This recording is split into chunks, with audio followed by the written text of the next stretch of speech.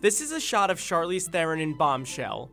Yes, that is actually Charlize Theron, who was nominated for an Oscar for her performance as former Fox News anchor Megyn Kelly. Put the two side by side, and it's extremely difficult to tell the difference. Viewers were certainly fooled.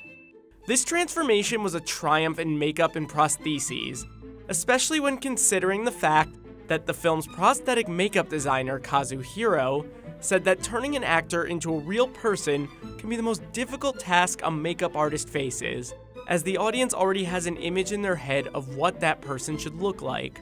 So, what made this especially difficult? And why was getting a cast of the inside of Charlize Theron's nose a key part of the process? Kazu Hiro is no stranger to turning actors into real people. He won the Best Makeup Oscar for 2017's Darkest Hour, in which he made Gary Oldman look exactly like Winston Churchill. For Bombshell, he worked with makeup department head Vivian Baker and hairstylist Anne Morgan. The trio received an Oscar nomination for their work on the film, the biggest challenges they faced? The actors had to look almost exactly like the people they were portraying, and the makeup and prostheses had to be created in a very short amount of time, as they only had six weeks of pre production. First, Hiro, Baker, and their team spent months watching Fox News clips to get the best possible understanding of Kelly's look and style. Then, once the actors were cast, Hiro did a 3D body scan and life cast, this helped him directly compare the physical features of the actors and the figures they were being transformed into. Then he made a mold of each life cast and created the skin-like prostheses based off of those molds. The prostheses were made with medical grade silicone and attached to the actors' faces with strong medical glue. These prostheses had to be applied to Theron every day, a process that usually took close to three hours. Theron did wear prosthetic pieces, but makeup products also helped alter the way her face looks. According to Baker, the two women have very differently shaped eyes. Getting the eyes right was essential in turning Theron into Kelly. Fake eyelashes were used to reshape Theron's eyes. Instead of using inflexible lash strips, Baker opted for Lashify Gossamers, which are fake eyelashes that come in pieces. While a normal lash strip would just sit on the lash line, these lash pieces could be placed with more freedom. Baker used the pieces to manipulate the weight of the lash line, which reshaped and resized Theron's eyes. Meanwhile, Theron also wore colored contact lenses because Kelly's eyes are a darker shade of blue. The eyes were topped off with prosthetic eyelid pieces. Since Theron has bigger eyes and what Hiro said were more open eyelids than Kelly, these pieces helped close that gap. The eyelids were the most difficult prostheses to create. During an initial makeup test, Theron had difficulty blinking while wearing them. According to Hiro, this can happen if you apply too much glue, as the skin around the eyes is especially sensitive.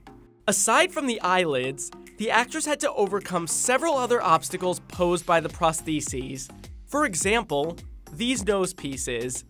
The biggest difference between Theron's and Kelly's noses were the nostrils and tips. A full nose prosthesis was not necessary though. Instead, Hiro created nose plugs to widen the holes and a nose tip, which made Theron's nose more upturned, like Kelly's.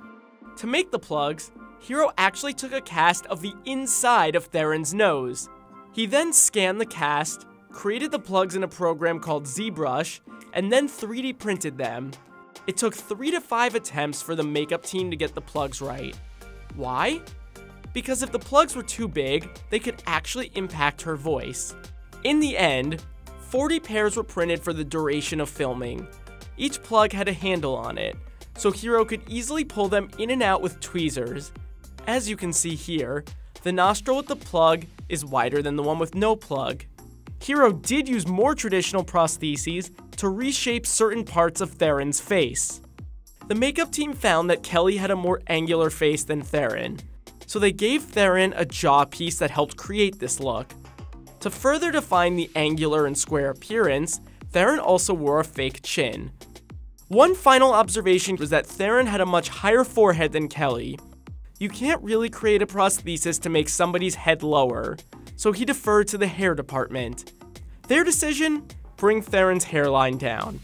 Theron wore several wigs in the movie, including one with long hair and one with short hair. According to Morgan, lowering the hairline best helped give Theron a quote, heart shaped face like Kelly's.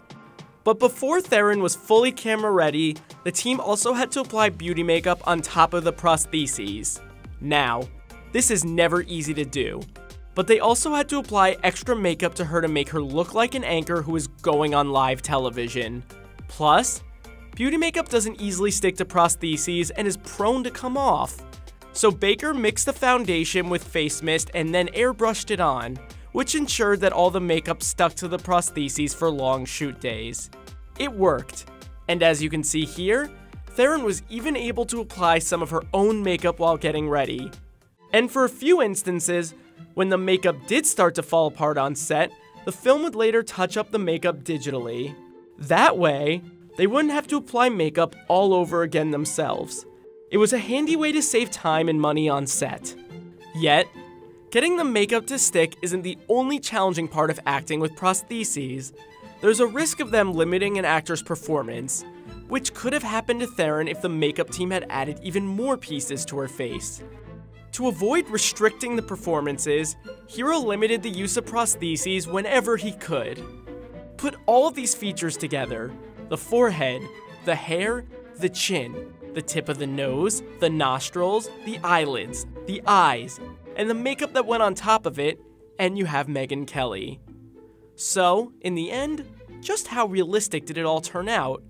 Well, according to director Jay Roach, it looks so realistic that the film's lawyers made them add a disclaimer at the start of the movie clarifying that any non archival footage was actually an actor and not the person they were portraying.